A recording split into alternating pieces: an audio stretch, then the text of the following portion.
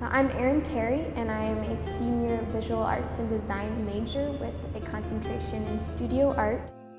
There's four branches to the visual arts and design major and that's graphic design, studio art, fashion design, and interior design.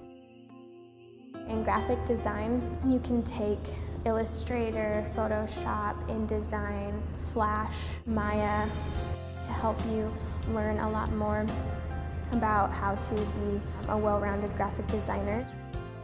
In studio art, you can take painting, drawing, photography, ceramics, printmaking, mixed media, sculpture, uh, the list goes on.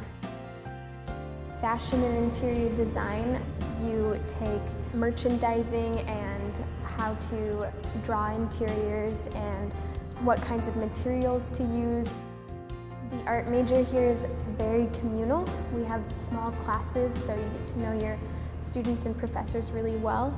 Uh, we have specific events to encourage that, and the first one's the art retreat, which happens every fall, where everyone, all the majors sign up and we go to the beach for a weekend and all the professors come so we get together and we do art projects, we do night photography, and it's just a great time to learn about each other for the freshmen and underclassmen to get to know the upperclassmen and to really get to know your professors. It's a lot of fun.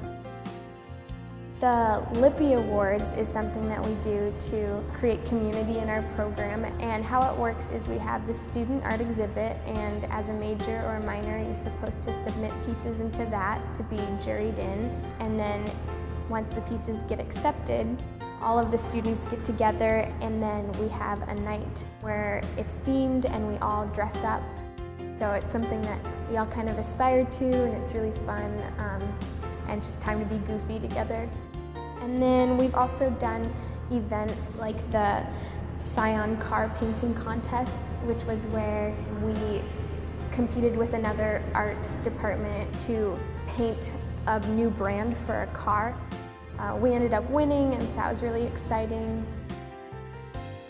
My experience has been just about that community and really getting to know the professors even more and really learning how to embrace who I am as an artist and really getting a lot of support in that. And yeah, it's just been a really amazing experience getting to do art together in a community with focus on God and um, and all the beauty that there is in this world.